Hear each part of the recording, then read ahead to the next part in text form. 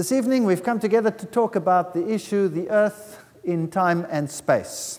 You know that the world out there teaches that everything is millions and millions and millions of years old, and the evidence is presented as irrefutable. And one wonders whether there is another side to the story. So I want to talk about this issue and present some thoughts to you. And as I have said earlier in our greeting, I do not wish to indoctrinate anyone. I would just like to state the other side of the story so that at least people have a choice to make. In the media, in the schools, in the university systems, in the libraries, wherever one goes, one is subjected to only one form of information. And that's not fair. Both sides should be available so that people can make informed choices. The Bible says in Isaiah chapter 40, verse 22, He sits enthroned above the circle of the earth, and its people are like grasshoppers. He stretches out the heavens like a canopy and spreads them out like a tent to live in. So obviously, there's a reference there to the God of the Bible having formed these heavenly bodies in a strange sort of way, science actually acknowledge a deity sometimes, because here is a nebula which is termed the Eye of God, one of the NASA Hubble telescope pictures. In actual fact, we are told that we are a rather insignificant planet on, in a rather insignificant solar system, in a rather insignificant galaxy floating somewhere on the edge in an insignificant position of a rather gigantic universe. And uh, probably there is a lot of truth in that. If you take one star, Betelgeuse, for example, in the constellation of Orion, then you'll see that that is an enormous star because that over there is the size of our sun, including the entire orbit of the Earth and that is the size it would be if it included even the orbit of Jupiter. So, really, this is an enormous star compared to ours. So, ours is really a very tiny object. The science literature will tell us how everything came into being, how the planets formed, how the early Earth formed out of particles and dust that coagulated. And one of the most prominent theories today is, of course, the Big Bang theory. So, this theory tries to give a naturalistic view on the origin of things. And contrasting this, you have the idea that God created all things in, at some time in the past. Now, this is a very fascinating study, and one would like to say something more about it. Well, you see, the idea is that at some stage, Everything that we see in the universe out there was concentrated in one particular point. And then at some stage, whatever was there exploded and shot out into a vast universe, expanding at breathtaking speed. And we see that this universe today is still expanding. And what they do is they look at the light that comes from distant objects and they notice what is called a red shift. Now, when waves are stretched and become longer, that is called a red shift. If waves are compressed, light waves, and you see a shorter spectrum, well, then what you see is a blue shift because the shorter wavelengths tend to give a blue tinge, the longer wavelengths will tend towards the red shift. Now, because everything seems to be red shifted, the idea is that the waves must be stretched because the objects are moving away from us. So the universe is expanding.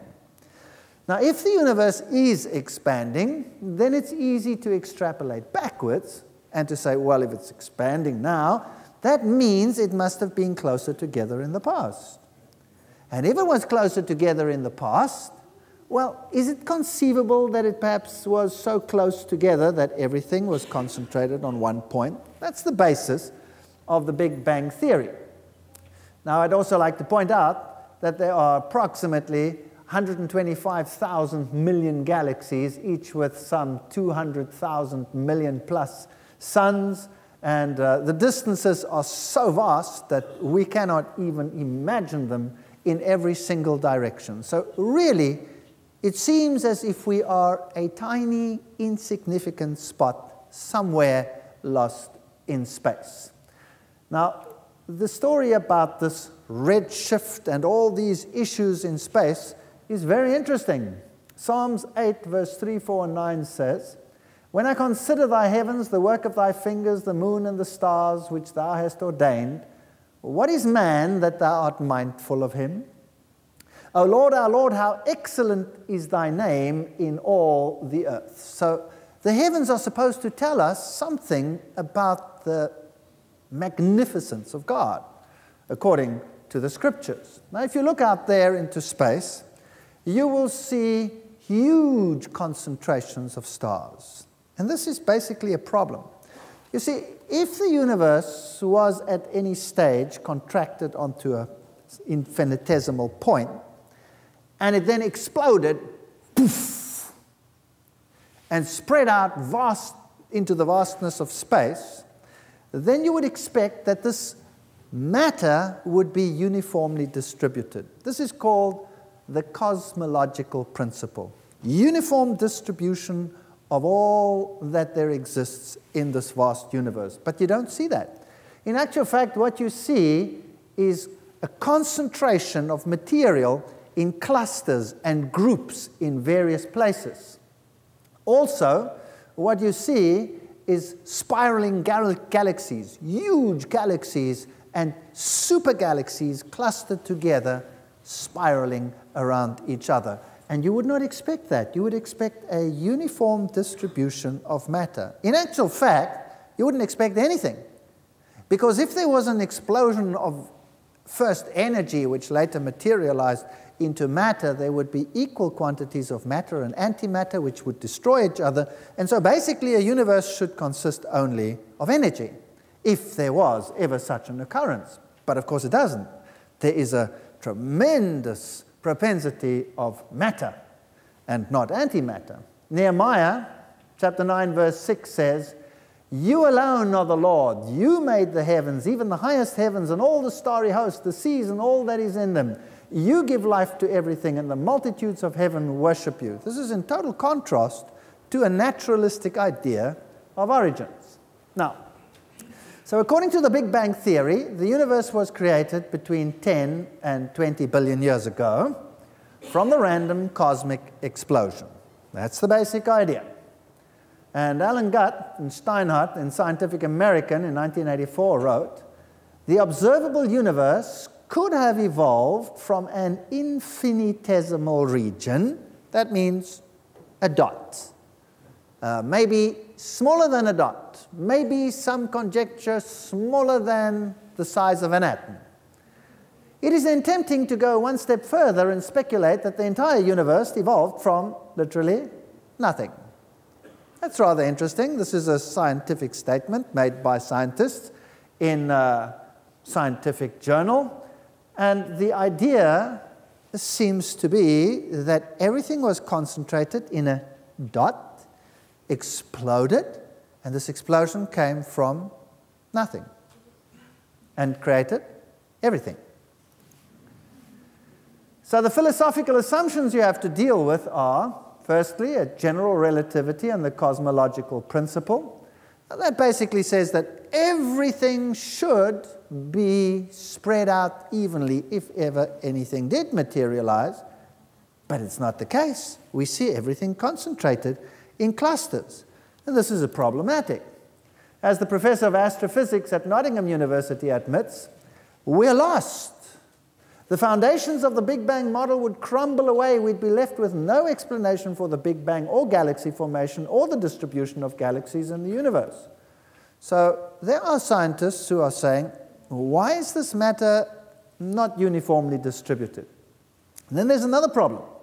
The Big Bang also violates the law of conservation of angular momentum. Now, let me explain that. You see, everything is turning around. When you look at our solar system, the planets are moving around the stars, the moons are moving around the planets, everything is moving in circles. Now, if there was an explosion sometime in the past from a center, and this explosion went poof in every single direction, then whatever shot out from there shot out in straight lines in every single direction. But that's not what we see. You see, we see angular momentum, not linear momentum. We see everything going round and round and round and round. So now the question is how come it's going round and round instead of the other way around? The fact of the matter, is, it is going round and round and round. So the idea then came to mind well, there is one possibility that could explain why everything is going round and round. Maybe that original dot was also going round and round. Does that make sense? Now, if you can imagine a bunch of kids sitting on one of those merry-go-round things in a, in a fun park, and this thing is going round and round and round and round and round and round and round and round at speed. If that thing happened to go so fast that the kids later hang on and centrifuge to the outside, and then goes so fast that the kids actually lose their hold and go flying off, then the law of the maintenance of angular momentum says that they will be spinning while they fly off in the same direction as the object was spinning originally. So if it was going clockwise, then they will spin off clockwise. Does that make sense? So that can explain why everything is going round and round. Because maybe originally the dot went round and round. And yes, everything is going round and round, and that needs to be explained. And wherever you look in this vast space, you'll find things going round and round. And as science has said, they will be flying off in all the various directions. Amos 5, verse 8 says, Seek him that makes the Pleiades and Orion. It's interesting that it names these two star systems. And uh, the Pleiades, or the Seven Sisters, is what is known as a bound cluster. That's very fascinating. Can you bind the chains of Pleiades? Can you keep them together? Which is what science has recently discovered that it in fact is a bound cluster. That means the gravity within the system is equal to the force that wants to separate them, so it stays together. In contrast, loose the cords of Orion. The, the systems in the belt of Orion are flying apart at breathtaking speed. Fascinating that that should be in Job 38, verse 31. But the general principle is that things seem to be moving apart and moving round and round sometimes in intricate patterns. But the problem is the globular clusters and the concentration of the matter in the universe, which should be uniformly distributed, but is not. Even Einstein recognized this problem and came up eventually with ideas to counter it. But they're theoretical and not practical solutions. So, this law of the conservation of angular momentum, what does it mean? Everything in the universe is spinning planets, stars, galaxies. It would take an enormous amount of energy to start a planet spinning, something that's called inertia. So, advocates of the Big Bang Theory propose that the singularity, that little dot, blew up in the Big Bang, was spinning before it exploded. Thus, everything within it was spinning as it flung out. But now there's a problem. However, some galaxies, some planets, for example, Venus, Uranus, Pluto, many moons are spinning backwards. That's called retrograde motion. It's going the wrong way around. Some moons even have a retrograde orbit around the planet, going the wrong way. Some are going this way and some are going the other way. Jupiter, Saturn, Uranus, Neptune have moons orbiting in both directions. Now, this is a serious problem. Here's a galaxy called NGC 4622, which appears to be rotating in the opposite direction. A whole galaxy going the other way around. Now, this is another serious problem. What do you do with all these things that are going the wrong way around? Planets and moons and all of these things that are going the wrong way around. What do you do with them? Well, the problem is that you would have to say something stopped the spin and put it in the other way. That would have to be such a force that would probably shoot the whole planet apart, and you would have to do it all over the place, even within the same systems. A highly improbable event. So even that seems to violate the idea. There are many scientists who feel that there are many problems with the Big Bang. Here's an article in Nature which says the Big Bang is not yet dead, but is in the decline. And it also says that it implies that some of these findings imply an age of the universe much smaller than the known ages of the stars and the globular clusters of the galaxy. So, as far as the Big Bang theory is concerned, the proponents for and against both have arguments, but at least we can say categorically that not everybody says categorically, yes, that's the way it happened. In fact, there are many that say it could never have happened that way. And that's only fair that we hear the other side of the story. And the exploration of space and what science has learned in the, in the last decades is just amazing and boggles the mind. Now, the story goes actually even further. From the Big Bang, you had an explosion. Originally, there was energy. Then a quark soup, these are subatomic particles. Eventually, the first atoms formed, although they never should have, they should have been destroyed by antimatter and matter coming together. And now you have hydrogen. The whole universe out there filled with hydrogen, perhaps a little bit of helium and some of the slightly bigger ones, but basically hydrogen. Now, what do we consist of? What elements are there in us? Everything from carbon to every single ion that you can imagine, the whole periodic table, we have it. Now, where do all those come from? If we all evolved naturalistically, where do all these other particles come from?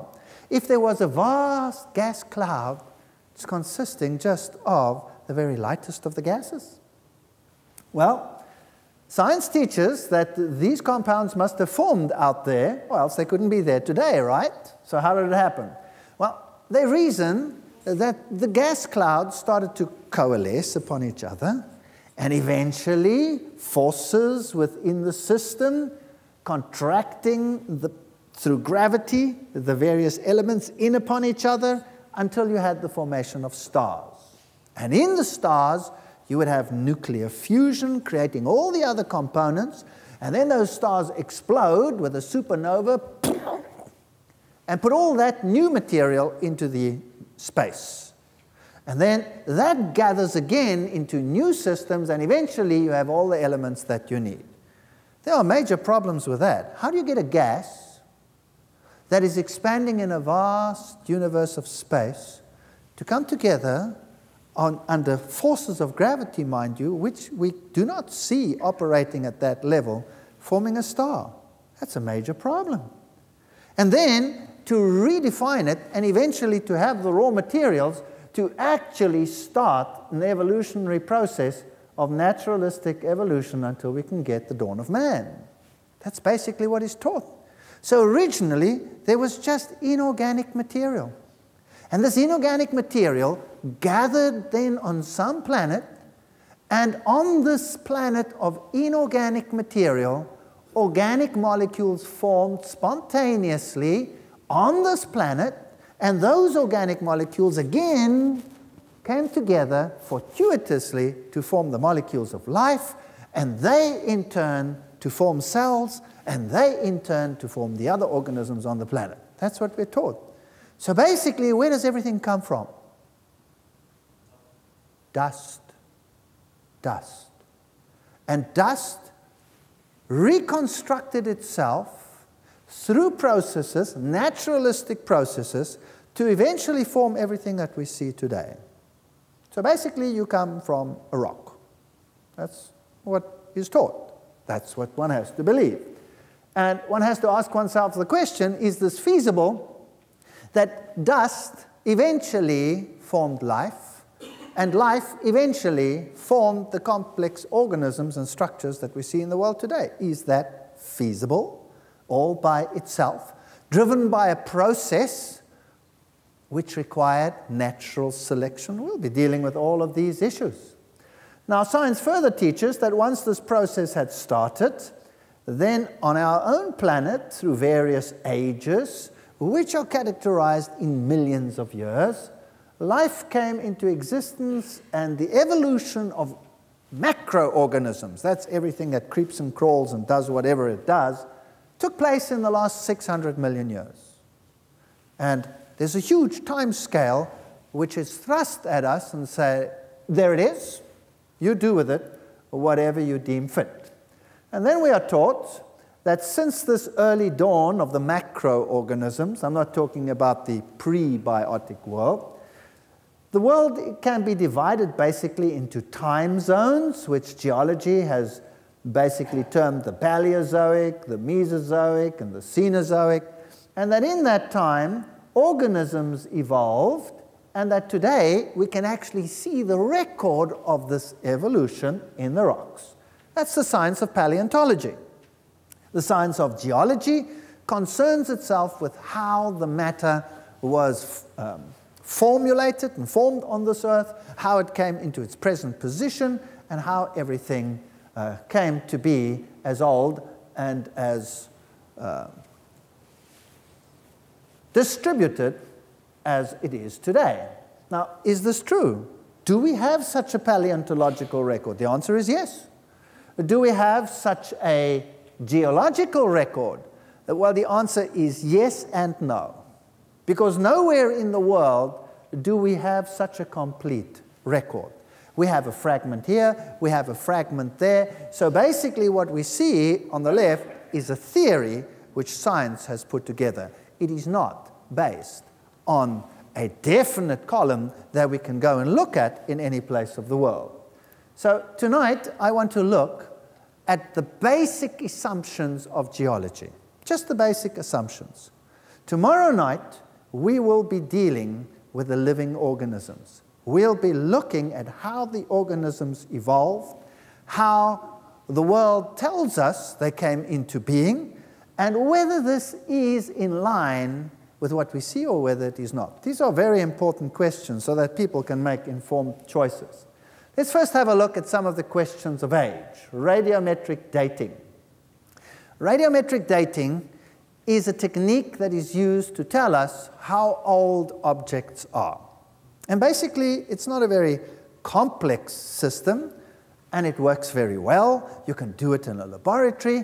There are ways of exactly determining the ratios of certain isotopes towards, to each other, and this information is used to tell us how old things are.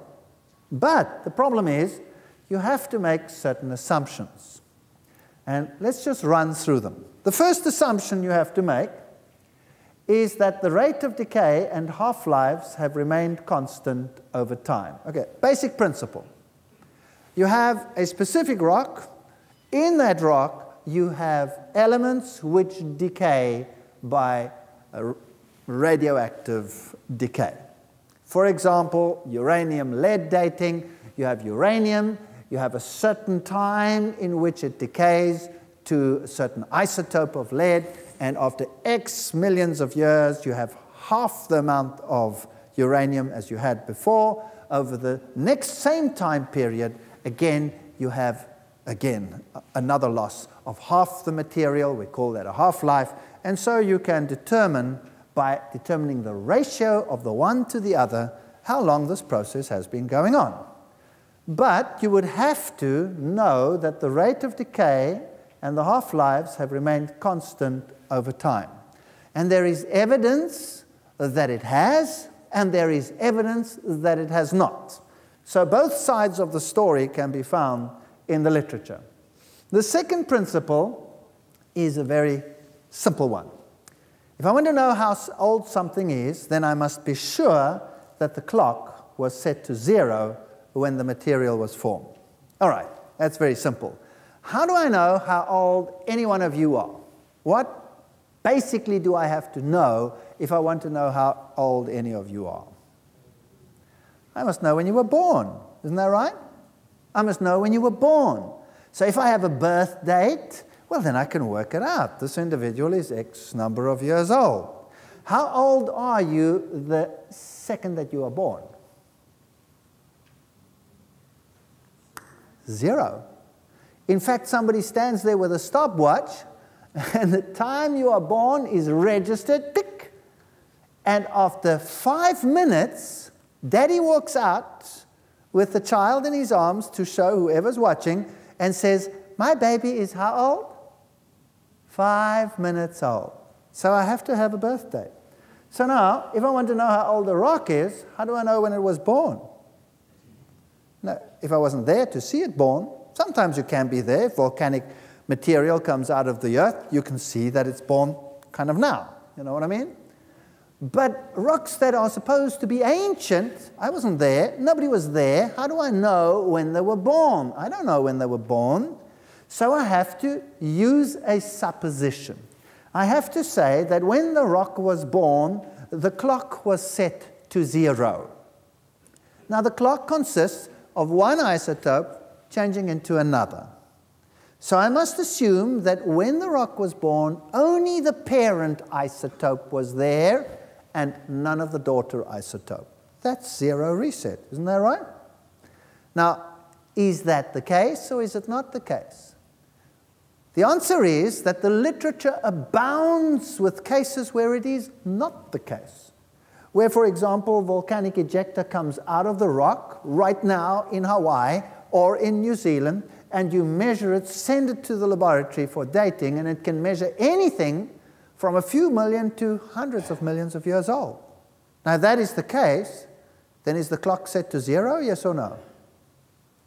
Obviously not. And if the clock is not set to zero, then how much faith can I have in the dating system? Here's another problem. We are dealing with a closed system. Uh-huh, obviously. If I'm going to determine ratios of one to another, it must be a closed system. Can you imagine, here in the front, I have a timer, a sand timer, you know, like an egg timer? Imagine it standing in the front here and I turn it, and all the sand is on top, and in the bottom I've got lines indicating the minutes. And after one minute, the sand has come down and filled it up to the first line, and I know one minute is gone. After another minute, the second line. After a third minute, the third line, etc. That's how the clock works. Now, what if there was a hole in my glass at the bottom? And as the sand came in, some of it escaped from the bottom. Would my clock be accurate, yes or no? No, it would not be accurate. Same with a rock. If I'm dealing with a rock and the elements inside that rock somehow were able to escape a hole in my clock, would I be able to use that sand in there as a time mechanism, yes or no? No. Question Does lead, for example, dissolve in acid water, in rain? Yes or no? Absolutely. That's why we have heavy metal pollution in our rivers and in our lakes, right? So, if it rains and water falls on the rocks and the rocks are porous and the water goes through, can I wash out some of the elements, yes or no? Obviously, yes. I mean, that's how mountains work. They soak up the water and they form huge reservoirs of water because they contain them and soak them up like a sponge. So here are mechanisms of taking out the isotopes. So basically, I cannot guarantee that the decay has been the same. I cannot guarantee that the clock was set to zero when the material was formed because it's not set to zero even today. And I'm not dealing with a closed system. So how good is my clock? Frankly, my clock is useless, totally useless. The scientific method of determining one isotope relative to the other may be perfect. That may be so, but it means nothing in the light of these points. So when somebody tells me, how old is something? Then how old can it be? as old as you would like it to be. You see, when Einstein couldn't figure out, or the world couldn't figure out, what was happening in terms of light and the movement of light whether an object was moving towards you or an object was moving away from you, that the speed of light remained the same, although it shouldn't have. It doesn't make any sense. Obviously, if two objects are going to move towards each other, they're going to get there sooner than when they're moving away from each other, right or not? So, what was his solution? He came up with a theory which he called relativity. That's it. So that's the solution to a big problem in science. It's nice, but it's just a word. We don't have to go into all the details. So if somebody asks me, How old is this rock? I say, It's relative. Relative to what? Relative to my paradigm. Relative to my way of thinking. If I believe this rock is young, there is nothing that you can do to prove that it is not. And if you want to believe that rock is very old, there's nothing that I can do to prove that it is not. So believe it if you want to, that it's billions of years old, or believe it if you want to, that it's a few thousand years old. There is nothing that stops you from believing what you want to believe. Nothing. And no matter how much arm wrestling science does with you, to tell you that you must believe that it's old because that is their paradigm, tell them it's relative. You can believe whatever you want to believe. There is no evidence, impelling evidence to force you to change your mind. You don't have to. Having got that out of the way, and please, I'm not saying you can't believe what you want to believe. I'm saying you have freedom of choice to believe what you want to now. That's all. That's all. So I'm not running anyone down. Now, Let's have a look at these rocks. Science teaches that each one of the rock layers that we find in the geological column, which is something that doesn't exist anywhere on this planet in toto, each one of these once represented a time gone by, sometime in the distant past, when each one of those was the surface of the earth, and life was enacted on each one of these very much like it is enacted today. So today we have cycles of rain, we have cycles of uh, weather change, we have all these cycles, we have cycles of erosion, we have cycles of deposition. Everything that happened in the past is the same as what happened today. So obviously, it is logical to say that the bottom layers will be the ones that were there first. Then came the next age, then the next age, then the next age, then the next age. Or we could say that this is a layer of material, then another layer of material, then another layer of material, and then another layer of material. See the difference? It's not very big, except for what? Except that science attaches great time to each layer. Does that make sense? So science says each layer represents a huge block of time. So when you take a layer away, what are you taking away? a huge block of time. Whereas if you say each layer is just one layer of mud on top of the next layer of mud, and you take one away, all you are taking away is a layer of mud. There's a difference in the thinking there. So let's think about that. So science teaches, okay, the first layer is at the bottom, that's the oldest one, then came the next one, then came the next one, then the next one, that's, then the next one. That's called superposition one on top of the other. It's very logical, makes perfect sense. And then we are told that the oldest layers have organisms such as these, so that's obviously what lived then. And if you go a little bit higher into that layer over there, the Ordovician, then you had creatures like this. If you go a little bit higher, you come to the Silurian, you have creatures like this. Go a little bit higher to the Devonian, well, then you have fishes and all kinds of things.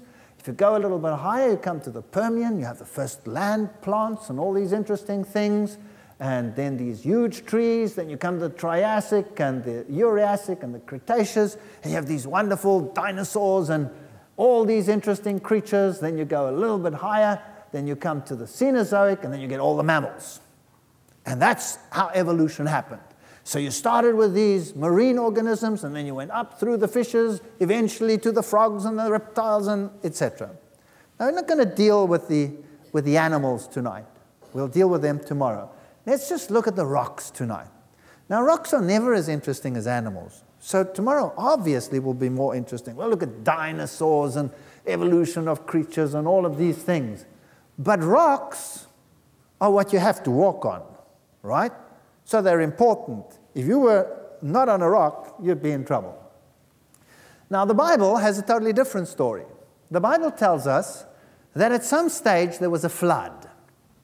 The Bible says that this flood lasted one year, 17 days. That's kind of strange. Most people think flood, it rained 40 days, 40 nights, and it was all over. No, no, no. That's not what the Bible says. The Bible says it rained 40 days and 40 nights. The Bible says the waters of the great deep broke forth, and the waters rose for some five months. Then they started to decline, and after one year and 17 days, Noah could leave the ark.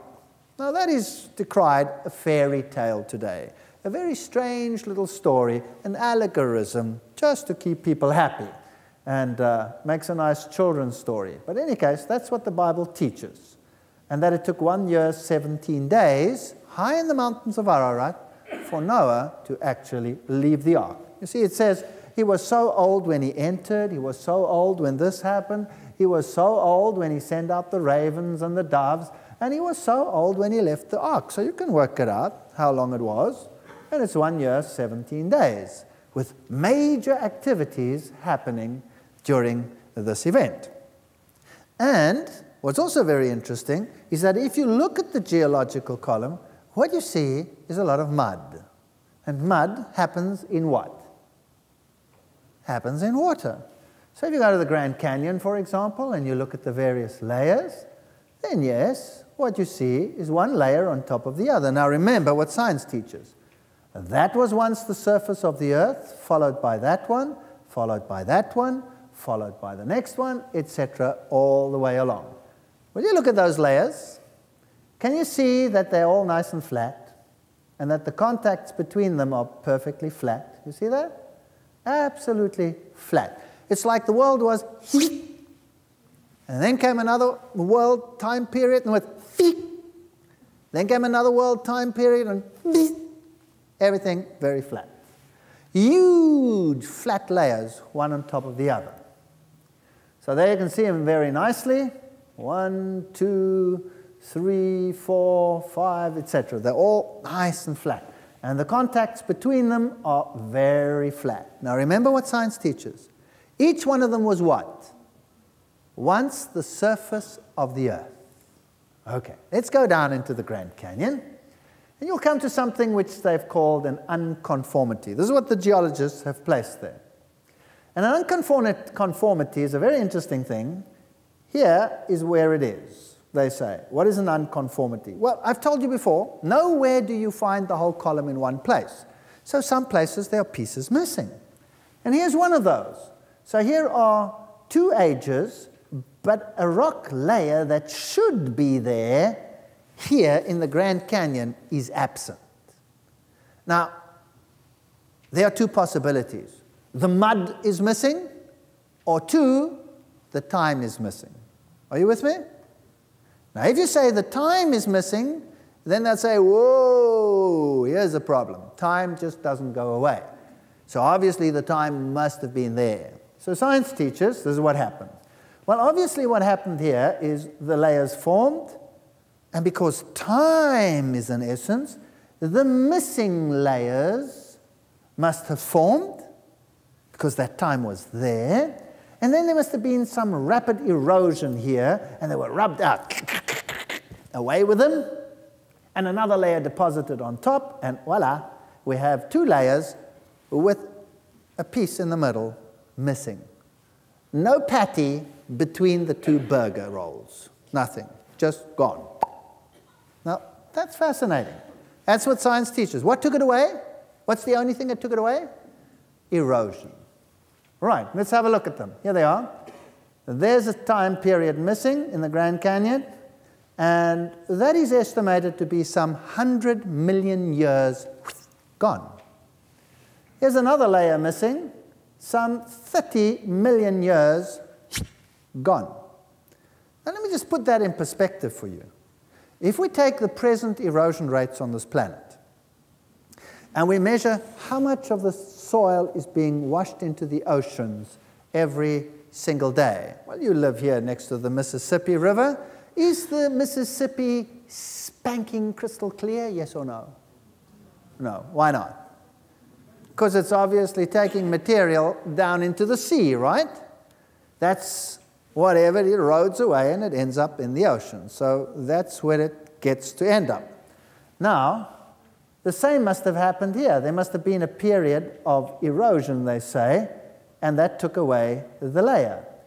Now, how much could be taken away in 100 million years? Well, did you know that at the present rate of erosions, if we take the lowest level for the United States, which is about six centimeters of Earth's surface every thousand years, the highest being in the Himalayas, some two meters gone every thousand years, then it would take just 10.2 million years to wash away the entire continent into the ocean using the, the lowest level. So 100 million years, that's enough to wash the entire continents, present continents, into the oceans at least nine times over. That's quite, quite extraordinary. Okay, here you have these flat layers with these contacts missing in between. 12 million years missing, missing between those layers over there. 12 million years. That's enough to wash the entire continent into the ocean once over. And it's a huge area stretching over all of that. And between the two layers, this one and the one underneath it, just nothing, gone. Although we have evidence of a lot of water rushing, that should have left some erosion. Look at these contacts flat, time missing, time missing, absolutely flat. Here you have 20 million years missing between this light one and this dark one. 20 million years gone, flat. What happened? Now, if you have erosion, isn't this what happens? Yes or no?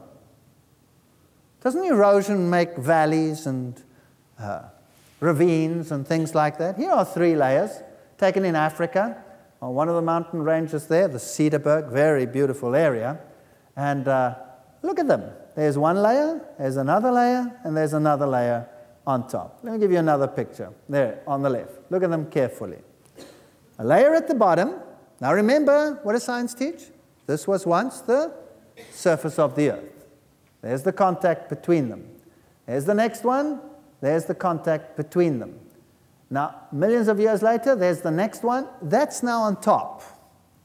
So that's getting some erosion exposure. Can you see how nice and flat it is? Is it flat, yes or no? No. It looks like this up, down, up, down, down, whatever. Why? Because erosion washes it out like that. So now, if I put another layer on top, let's say all this went under the ocean and I put another layer on top, would the contact be or would it be yep, yep, yep, yep, yep, yep, yep? What would it be? What do you say? It certainly wouldn't look like that. So do you think it's possible that that was never really the surface of the earth for a very long period of time? And that before you could say, Jack Robinson, the next layer was on top? Is it possible? But what would that do to the evolution theory? What would it do? It would create a great problem because these things happened over millions and millions of years with the same principles applying today applying to the past. There will be a problem. Look at this. Here's a layer, one, two, three. Everything in between is gone. Where is it? Well, it's been eroded away, obviously. All right, so if I put new layers on top, I certainly shouldn't get flat contacts, shouldn't look like that. Erosion will have it look like that, right or wrong. And if I put a layer on top, it should look like that, right or wrong. But it doesn't, it looks like this. All right, now let's think about this. Let's say this is the Grand Canyon, and the black is one layer, and the red is another layer, but I know there should be a yellow because it was found in another area. But it's not there in the Grand Canyon. So, what does science teach? It was washed away by erosion. Is that right? and therefore millions of years of time cannot be found there. But the contact is absolutely flat, and it shouldn't. It should look like that. So now, here's another possibility. Actual fact, this wasn't time at all. These are layers of mud. There's one layer of mud, a missing layer of mud, and a red layer of mud. Whereas here we have a black, a yellow, and a red layer. Let me explain this. I have three buckets of mud here in the front. One contains black mud, the other one yellow mud, and the other one red mud. Now, I take this huge bucket that I have of black mud, and I go whoosh, and I spread it all over this hall. And then I take my bucket of yellow mud, which happens to be a small bucket of mud, and I go whoosh, and I just spread the front here with my mud. And then I take another big bucket of red mud, and I go whoosh, and I spread it over the hole. Now I have. In the front here, eventually when it dries, I make a cut. How many layers have I got? Three. In the back there, I make a cut. How many layers have I got? Two. Aha. So in the back there, obviously what happened is millions of years of erosion took the middle layer away, right? Right? Or would you perhaps agree with me, I didn't have enough mud to get to the back? You see the difference in the philosophy? The one requires time, the other one talks about mud. Now, which one is right? The Bible says there was a flood, a worldwide flood. That's what the Bible says. Now, if that is true, you would expect a lot of mud on earth. And do we find a lot of mud on earth? Yes. Everything is mud. Marine sediments here on this earth. Where should they be? in the bottom of the ocean. There's not enough there to account for any of this time that has gone by. It's all sitting on land, which is all kind of upside down. Now, here are some scientific publications 20 million years of weathering and erosion under varied conditions. And then he says, the survival of these paleoforms is in some degree an embarrassment to all the commonly accepted models of landscape development. Here's a scientist that says, you know, we have a problem. All of these mud layers are there, and erosion is taking place all the time. And look at what we have. Everything is still there. Actually, it should be gone several times over. Why is it still there? So we will be looking at this issue in the next, se next section. For example, the outcrops were excellent, but even the closest inspection failed to turn up the precise position of the 15 million year gap. Why is there a gap and I cannot see it? These are questions that need answering, and we'll see them in a moment.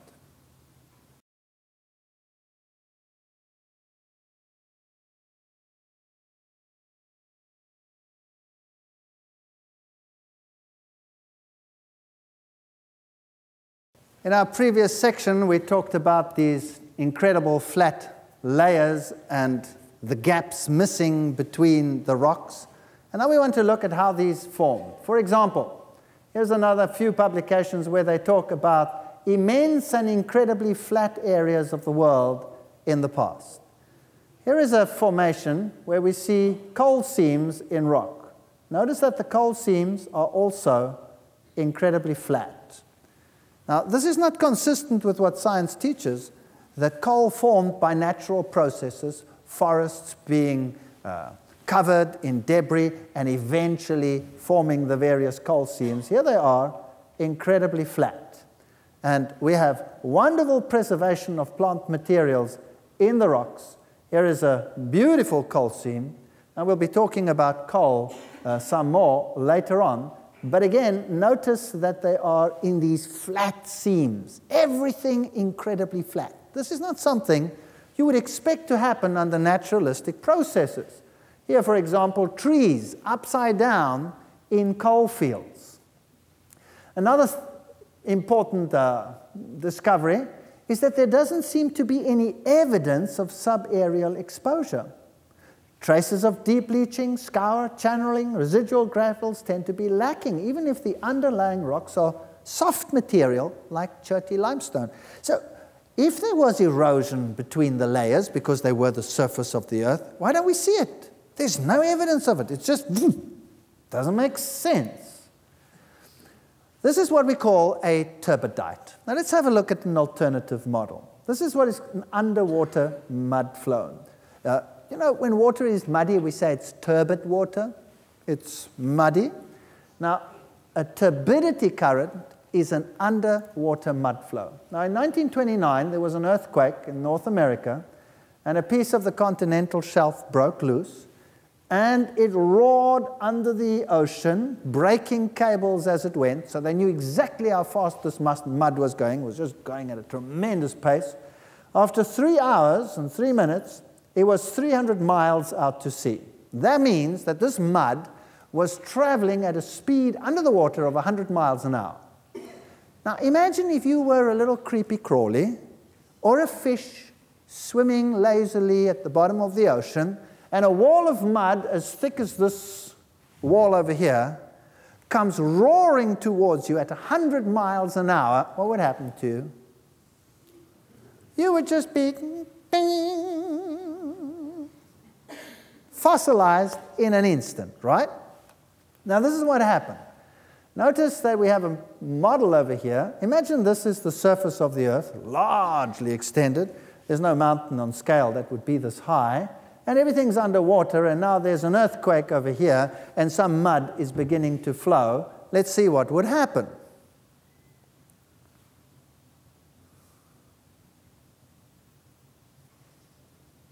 There it flows. Watch how it comes over the hills, into the valleys, over the top.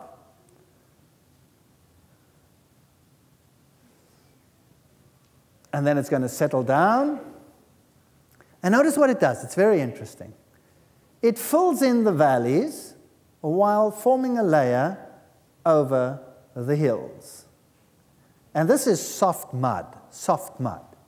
Now we're going to put another layer on top of this while this is still soft mud. We're not going to stick around for a few million years waiting for this to turn into stone, okay?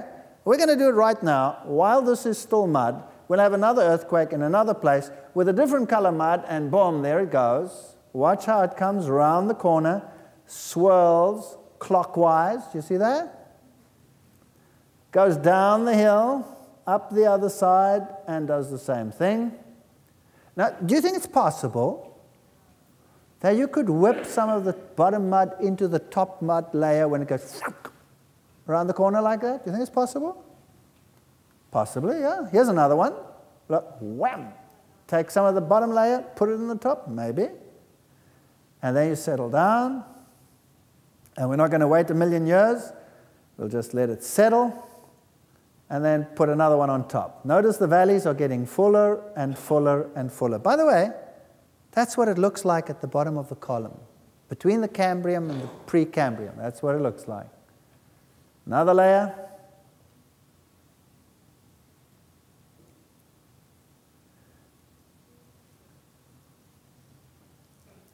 and another.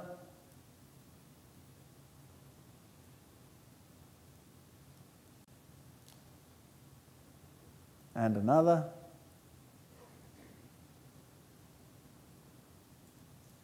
And now it's getting pretty flat. And now they're just rushing along nicely, one on top of the other.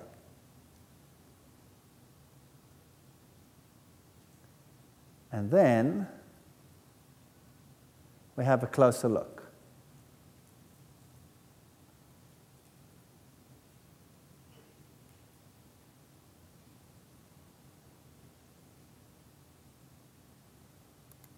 What do you see? You see one layer on top of each other, and what are the contacts like? Yep. Yep. Yep. What's the contacts like? Flat, and especially on top. Everything is flat. And can you see that here and there, there for example, there's a little bit of mixing of the bottom layer into the top layer. Okay, if we go a little bit closer, notice what else we'll see. All right.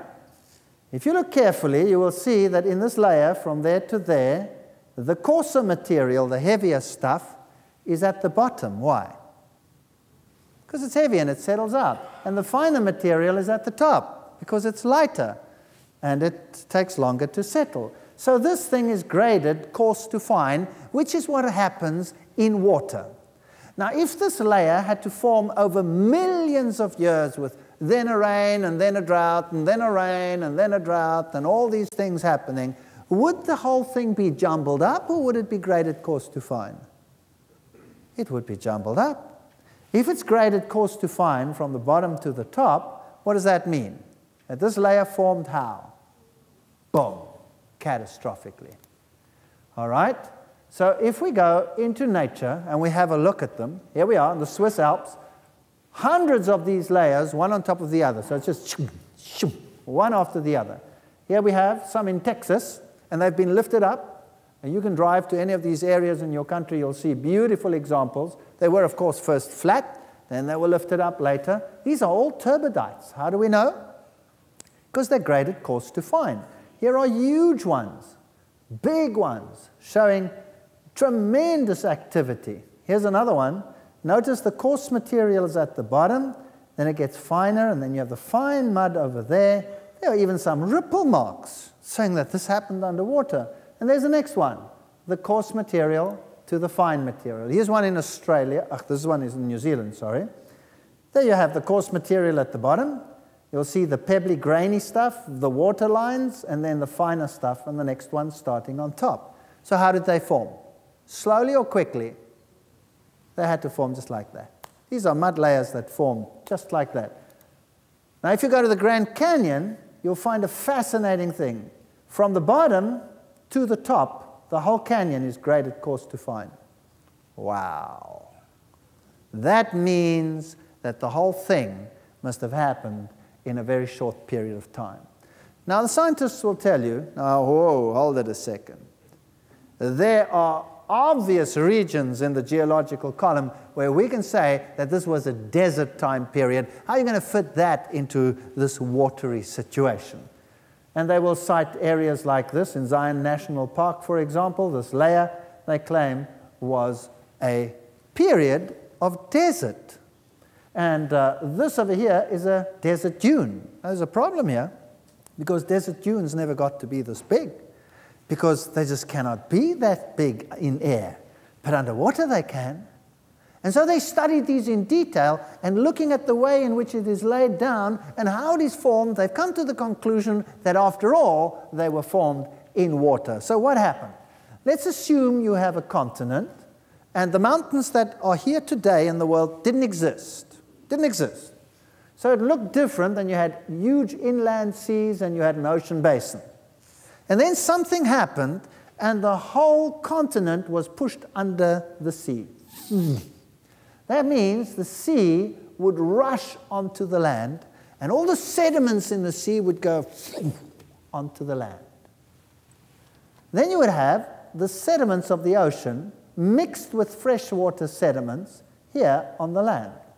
And then you do the reverse. You lift up the continents again, folding takes place, the mountain ranges form, and the new ocean basin forms. And the sediment that was in the ocean is now on top of the land, and you can see it in the mountain ranges and all over the place. And that's what it looks like. The sediment is on the land instead of in the ocean. Where should it be if the oceans have been around for hundreds of millions of years? Where should the sediment be? The bottom of the ocean. It's not there, it's on land. Well, that's very strange. Let's have a look at these layers. Here are two layers in the Grand Canyon. The one is called Coconino Sandstone. The other one is called the Hermit Shale. You can tell them nicely apart. They've got two different colors. And you can see some interesting structures. Boom, there's one. It's called a flame. Here's the one layer. There's the other layer. And here there's obvious mixing. Can you see that this one over here is as if it were whipped into the top layer? Can you see that? So something came rolling along and whipped up some of the bottom into the top, and mixed them. Now, if this layer over here at the bottom were millions of years older than that layer, would that have happened, yes or no? Never. This is a geological nightmare because this cannot be explained other than by catastrophism in water. Or could I depress a top layer into a bottom one, squelching it, not breaking it, going if the bottom layer weren't soft? Impossible. Could I fold mountain ranges like this or like this? Could I just take the layers and go like a bunch of layers of dough in a whatever donutty thing? Could I just go do that? No, unless the layers were soft. Now remember, science says each layer was the surface of the earth. Each layer constitutes millions of years turned into rock. How am I going to bend this without shattering it into millions of pieces? Impossible, unless the layers were soft. So, how does science solve this problem? I said, well, what must have happened is they were rock, but then there came a time of continental depression and it went down into the heat of the earth, and there it became molten. Then it was lifted up and folded. Hello, here's a problem. Then there should be evidence of this heat upon the rock. But most of these rocks are sediments, no evidence of any heat, no volcanism, just water, mud, and fossils, no heat. And they're all folded like that. So it must have been soft. Here's another interesting one. Here's a finger sticking through another layer of mud. Obviously, this finger is hard, this layer is soft, so this erodes away, and there stands this finger. Ding! What's it doing there? Where's it come from? So if you look at the layers, this is in Kodachrome Basin, also here in the United States, different layers. There they are. And the bottom one over here somehow had columns shoot up through the other layers and then solidify there. So this one over here shot up through this one, through that one, into that one, and there it sits. And that one shot up from that one through the others, and there it sits. Now erosion takes place, washes it away, and there stands a finger. Bing. Now, this is very intriguing. Imagine you have two layers of glass, tabletop glass, you know? Imagine you have two layers. And now you have a tube of toothpaste, and you go to the glass, and you take your tube of toothpaste under the glass, and you go, squeeze! What'll happen to your toothpaste? It'll go, peek. And if you look at the top, you'll see one big flat patch, right? because the toothpaste cannot go through the glass, it's solid. Now, the same with these rock sheets.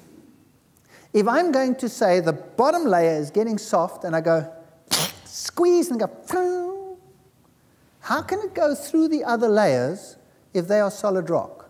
What should the mud do? It should go, but it didn't. It went through all of them. What does that tell you? It tells you that when this happened, they were all soft. So they were laid down, then there was an earthquake, put pressure on the layers, and it went and they shot columns through, and then they got stuck, and then they dried, and they formed this. And that's how you get that. Only if they were all soft. So there they are, standing there as though they should have been there. If you look here at the Grand Canyon, that's another interesting area. The Grand Canyon goes through an uplifted area, and there is the canyon. Now, rivers don't flow over hills. Rivers flow down here in valleys, but here it went through the top. So, how did that happen? How did it happen that a river stayed up there and went over the mountain? Cannot happen. So, something must have happened to form a rip, and the water must have rushed through, and the layers that we have are indicative of a major flood catastrophe. So, looking at the Grand Canyon, what washed this out? This little river flowing over a hill? Doesn't happen. All these layers, we've seen that they must have been deposited quickly. This massive amount of material washed away, was it rapid or was it slow? The Zion Canyon, look at that. A sheer canyon. Who's ever walked up Zion Canyon? It's great, eh? It's magnificent. You walk up that canyon, and you just got to be careful that floods don't come. And by the end, you can touch both sides and go up the canyon. Wow, it's magnificent. You guys should do it. And you look at those canyons and you think, wow, what happened? Was that rapid or was it slow? Well, here you're going to Africa. This is when the fledgling state Namibia was formed. And uh, we're up there in a region of the Fish River Canyon. Beautiful erosion features, ripple marks. Again, water features everywhere. And there is this canyon. Look at it. Nice V shaped canyon. going round the corner. It's not as impressive as the Grand Canyon, but you know, not everybody can keep up with you guys. And this is the Orange River Canyon. Here comes the river, makes this huge waterfall, and then flows in this beautiful canyon. Can you see the canyon is V shaped? Can you see that? V shaped canyon. So now we've seen the Fish River Canyon is a V shaped canyon. This canyon is a V shaped canyon. The other canyons in the world, V shaped canyons. You've got to be careful when you go walking there because this critter here is extremely dangerous. That's a yellow cobra. And uh, some beautiful erosional features visible over here. Plus this. This is a, a water whirl.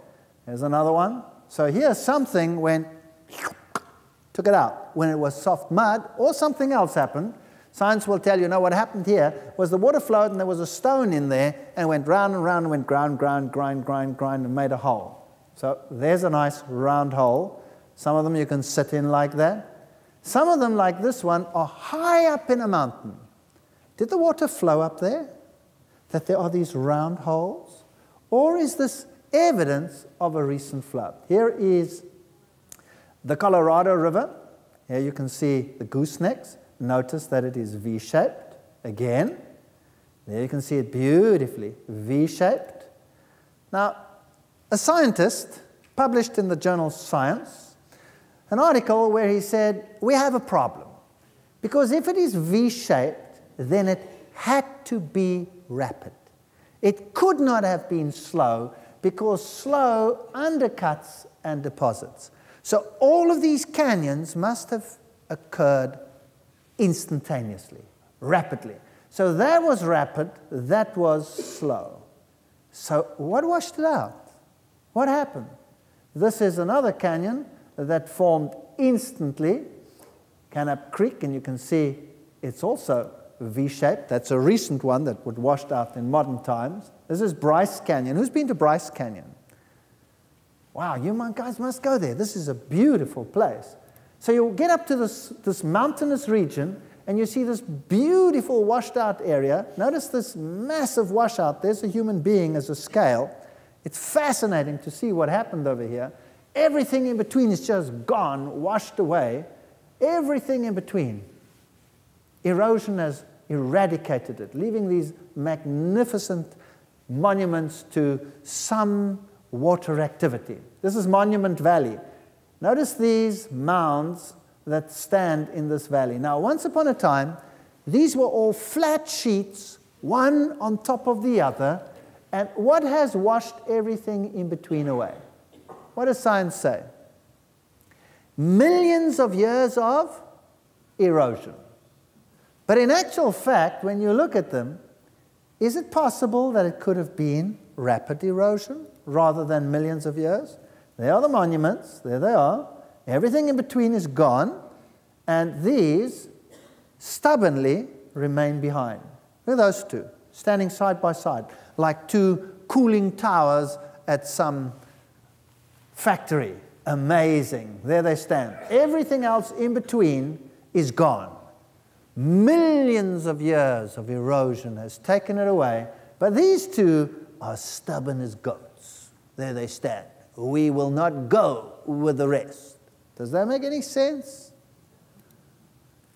Or those. Those are the Navajo twins. And everything else in between is gone. I'm going to take you to an area in Africa. And this is in uh, Basotho land. And here is an interesting feature. This happened in one rainstorm. Notice that the rainwater came and washed away all the material, leaving a mount there, a mount there, a mount there, another one there, another one there, another one there, a couple over there, and a range over here. And that is what happened in one rainstorm. Now, why are these still there and everything else is gone? Imagine this the water's coming along, washing away the soil, it's busy digging these channels, taking away the mud, and then all of a sudden the rain stops, and what happens? The water's gone. And before everything could be washed away, it dries out and leaves these mounds. Now, isn't that exactly what Monument Valley looks like? Yes or no? It's exactly what it looks like on a small scale. There's a little canyon that formed in just a rainstorm. There's another one. Notice the V shape, exactly the same. This is a beautiful area. This is uh, the Cederberg, and here the mountain is cut into columns. You can literally get into one of those columns over there and walk through the mountain. Spectacular. When you get in there, it's like a cathedral with huge arches hanging over you, like this, and you can walk in this area under these arches, and there you can see the layers of mud one, two, huge layers deposited one on top of the other with these flat surfaces in between. And as you look down these slits, you can see there's a person walking. You can see right through them, and you literally walk up into this mountain. What washed that away? There's no river flowing there today. Either millions of years have taken away this area, or this happened rapidly, and this is a relic. Now, also in these mountains, you have this feature. Now, this is the other way around. There, you obviously had the slits going from the top to the bottom, but here, you have something totally different. If you look carefully, you can see that this mountain is standing on pillars. Can you see that? And there as well. The mountain is literally standing on pillars. There's a closer shot. So basically, what you're doing over here is you're not walking in a slit on top of the mountain, you are now walking under the mountain. You're walking through a chapel of pillars. It's called Town Hall because it's got all these pillars. Now, this is weird. There's no river or anything there. What washed that out? How did this happen? And you have these huge mountain blocks standing on pillars. And everything in between is gone. And now you can walk through the mountain. Well, imagine this. Imagine you have these huge layers of mud, one on top of the other, covered in water, and suddenly this water drains off the land because the ocean basin is formed and the continent is lifted up. And this huge body of water just rips channels. And as the basin's lower, the water level does what? Drops dramatically. So mounds of mud come up above the water level as the water level rushes down. And the water flows fast at the bottom, so fast that it starts doing what to these mounds? Undercutting them, washing out channels in between, underneath. Eventually, channels all the way through, and you have all these pillars and, and huge blocks of mud sitting on top of them. And then before everything is washed away and the whole lot collapses, what happens? The water is gone. And then it dries, and you have a whole mountain standing on pillars.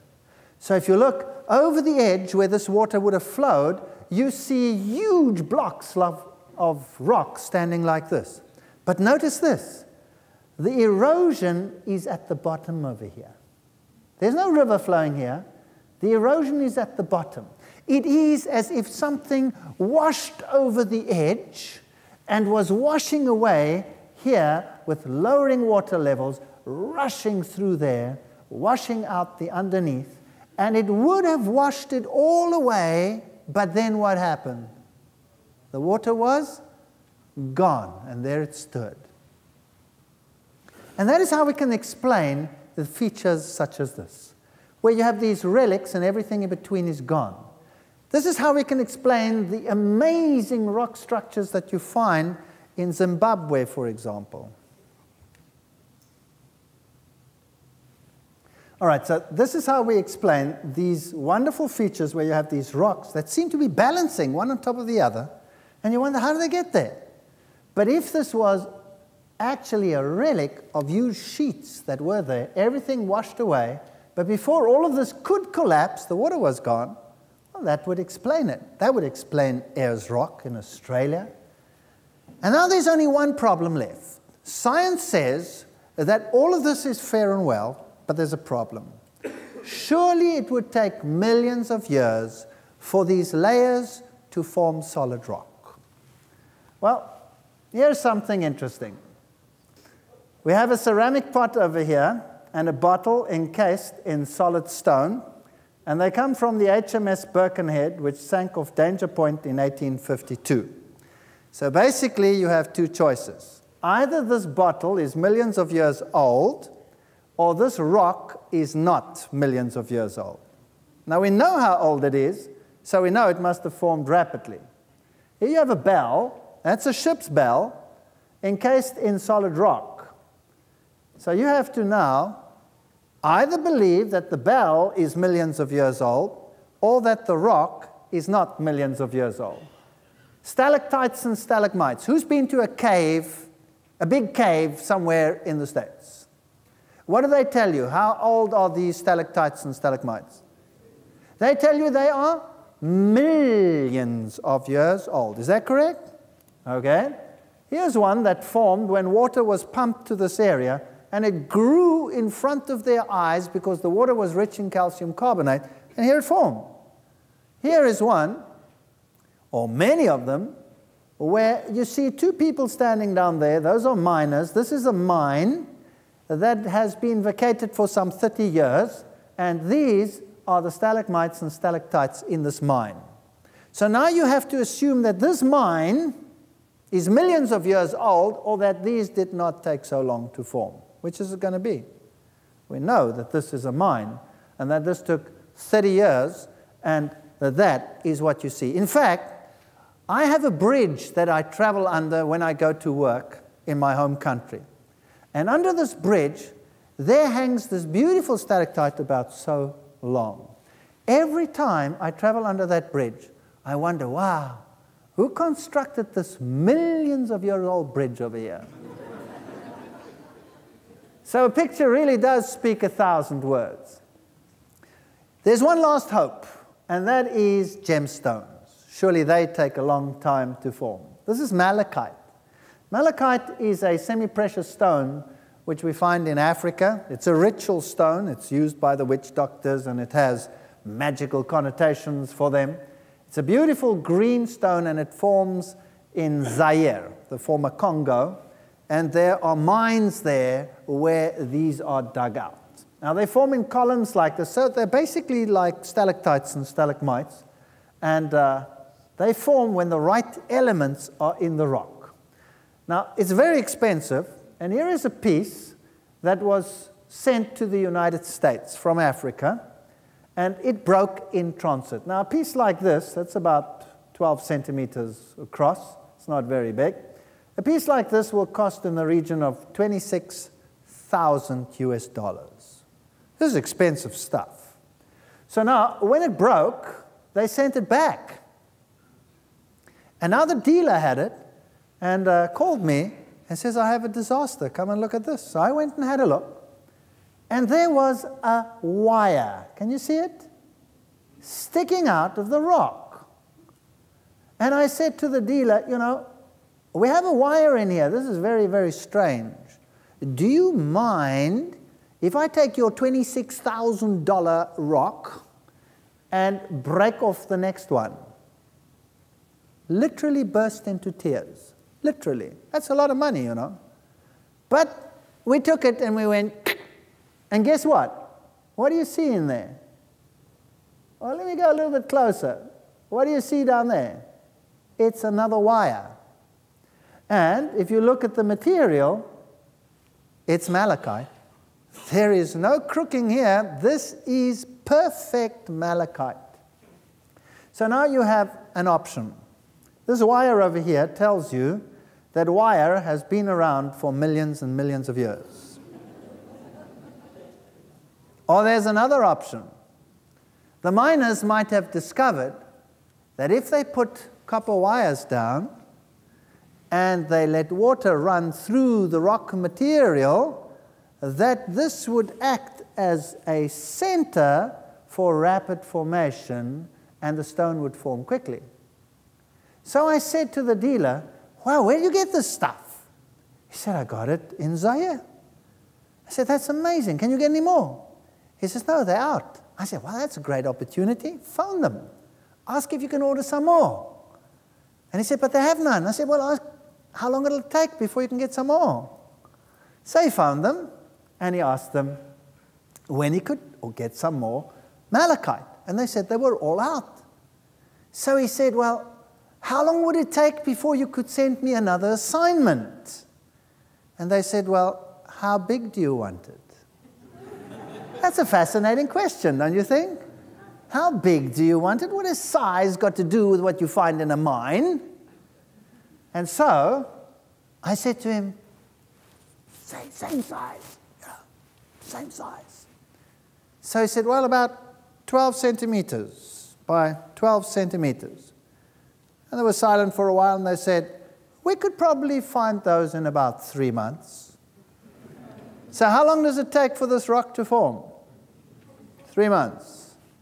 So, do we need millions and millions of years for all of these features? The Bible says in Romans 1, verse 20, For the invisible things of Him from the creation of the world are clearly seen, being understood by the things that are made, even His eternal power and Godhead, so that they are without excuse. So basically, if you go and look out there, maybe you can see things which might tell you that maybe the Bible's not so wrong after all. That's the bottom line of this text. Now, we have looked at some of the features. We've looked at the time issue. We've looked at the cosmology.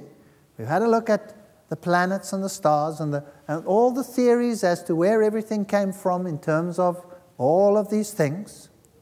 But what we haven't looked at in detail is whether this flood indeed was universal. That's a problem. You see, science is willing to look at some of the evidence that they find and say, okay, we're trapped. We admit it. There is a problem. But we will acknowledge only local catastrophes. We will say, yes, there is a possibility that that feature over there formed during a local catastrophe and that that one over there formed during a local catastrophe. But a universal flood, forget it. Why? Why is it imperative, and think about this, why is it imperative for science to deny a universal flood? Why? I'll tell you why. Because if there was a universal flood at some time in the not so distant past, and it destroyed all life on the planet, and then it was over, and you wanted to stay naturalistic, what would you have to do to evolution from that point onwards? You would have to start it all over again. Are you with me? So it is impossible for modern science to conceive of a universal flood. Impossible. If there was one, big problem.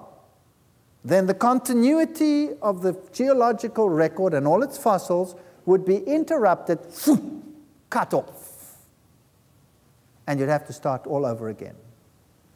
And that is inconceivable.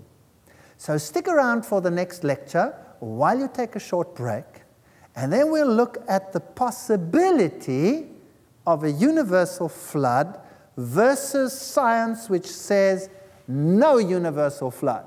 In fact, it may not conceive of a universal flood. That could be interesting. You stick around because this is what your kids are being subjected to every single day in their schools, on their televisions, in the museums where they go to, and it is time you had a look at the other side of the story so that you can make an intelligent choice. Without two sides, no choice. All I'm saying is expose yourself so that you can either ridicule it or accept it according to your will. Thank you for listening.